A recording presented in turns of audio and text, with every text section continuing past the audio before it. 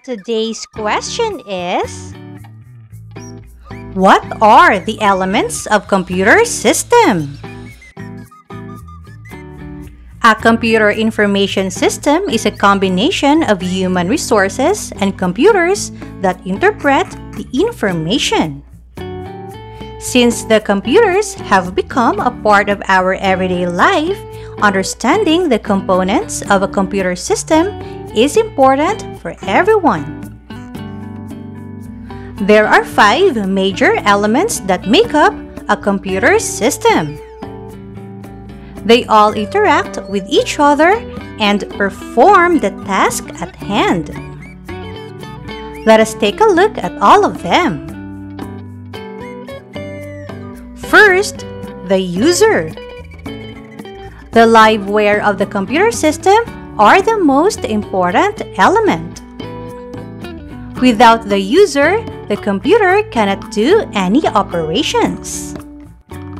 Users interact with the computer through the use of hardware and software. There are three types of people that interact with the system. First, the programmers. They are the professionals who write the computer programs that allow users to interact with the computer. They must have technical knowledge of computers and computer languages. Number 2. System Analyst They mainly design data processing systems and solve problems that arise in data processing. And number 3. End users Also known as operators. They are the people who interact with the computer system. The second element is the hardware. These are the physical or tangible mechanism of a computer system. Hardware components are the electronic or mechanical instruments. They help the users interface with the software and also display the result of the tasks being performed. There are four types of hardware. The first one is the input hardware. This is used to input data into the computer system. Examples Keyboard and mouse. The second one is the output hardware. This is used to translate and display the result of the data processing. Examples Monitor screen and printer. The third one is the processing and memory hardware. This is where data and information are processed and manipulated to perform the task at hand. Examples the Central Processing Unit or CPU and the Read-Only Memory or RAM. And the fourth one is the secondary storage hardware. This is where the computer system stores data permanently. Examples, the hard disk and pen drive.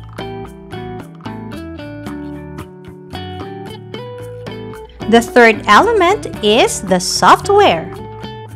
It is the set of logical functions and procedures that enable a computer to perform a specific task.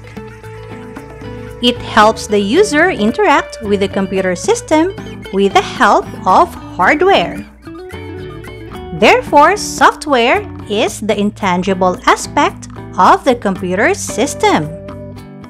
The three major types of software are the following. Number one, the operating system. These specialized programs allow the communication between software and hardware. Examples Windows XP and Macintosh. Number 2. Application software. These are designed to perform a specific task or a bunch of tasks. Examples PowerPoint and Tally. And number three, utility software. It helps maintain and protect the computer system. Example, the antivirus software. The fourth element is the data. It is any information fed into a computer.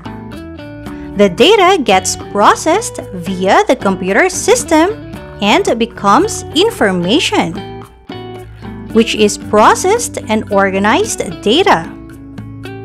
Information can then be used for decision-making purposes.